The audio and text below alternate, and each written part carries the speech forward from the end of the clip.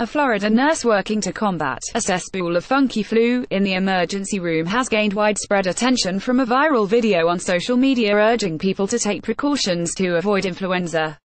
After a 12-hour night shift last week in an emergency room in northwest Florida, Katherine Lockler, a registered nurse, offered some expert medical advice.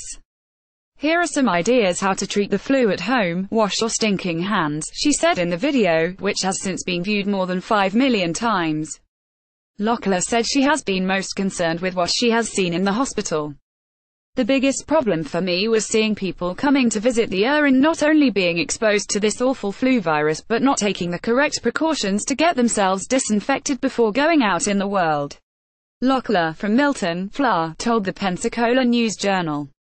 Lockler could not be immediately reached for comment by the Washington Post. Lockler posted the animated, and somewhat saucy, video Saturday, explaining to people how the flu is contracted and how to help keep it from spreading. If you're not aware of how the flu is spread, the only way you can get it is through your eyes, your nose or your mouth, she said. She then demonstrated how to minimize the transmission of germs while sneezing, quipping, watch this, I'm going to teach you all a magic trick. It's amazing. She filmed herself fake sneezing into the inside of her elbow, a move that's commonly recommended by health professionals as well as the Centers for Disease Control and Prevention. For those who missed it, Lockler did it again in slow motion. Lockler also warned healthy people to avoid emergency rooms. It is a cesspool of flu, a cesspool of funky flu at the ER right now, she said in the video, explaining how, hypothetically, players on a softball team should not come to the hospital to visit a sick or injured teammate. Because guess what? You just got maybe 15 new vectors, or carriers of the flu, by them all walking in.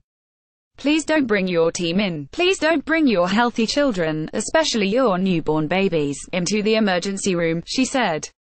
If you don't have what I call a true emergency, this would not be the time to come to the emergency room, Lockler told Pensacola News Journal in a phone interview Wednesday that she has personally witnessed some of the carelessness. I saw a dad with a toddler crawling on the floor in the emergency room, and I approached him, and I said, Hey, dad, I do not feel that that's a wise decision. Your child is being exposed to some really nasty germs on this emergency room floor, she told the newspaper. And instead of the dad receiving what a nurse of 10 years is sharing with him, he said, A, it's no big deal, it'll build his immune system, so there's a lack of understanding and a lack of interest in knowing what to do to protect themselves sometimes. As for the tone of the video, Lockler said that it might sound parental, but her intentions were to educate, not to insult anyone. I think there's a little bit of sarcasm in my voice because the instructions were given so many times, and they were not received well, she told the News Journal. I tend to be sarcastic in all my speaking, but if it's taken wrong, I would definitely apologize to that group that misheard my message because of my tone. The message is still right on the money, but if the tone was offensive, that was not the intention. As the Post's Lena H. Sun reported, the worst flu season in years is spreading across the United States, with a sharp increase in the number of older people and children being hospitalized, according to the CDC. Since the start of the flu season in October, more than 14,600 people have been hospitalized. The highest number of those were adults older than 50 and children younger than 4, according to the most recent data released Friday by the CDC. As of this week, overall hospitalizations are now the highest we've seen in nearly a decade, Anne Schuchat, CDC's acting director, said Friday in a news conference. The CDC said that during the week ending Jan. 27, the agency received reports of 16 children who recently died of influenza and related complications.